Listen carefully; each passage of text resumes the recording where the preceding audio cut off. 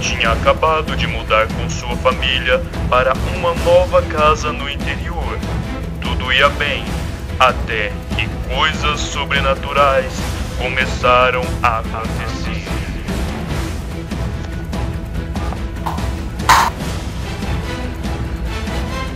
A solução encontrada foi gravar os acontecimentos para provar que este não estava ficando louco. louco.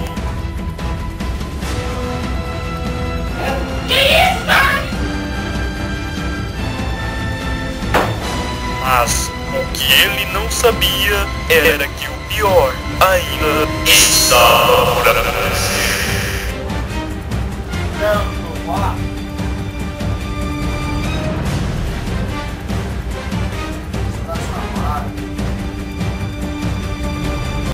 Você não pode perder mais uma super produção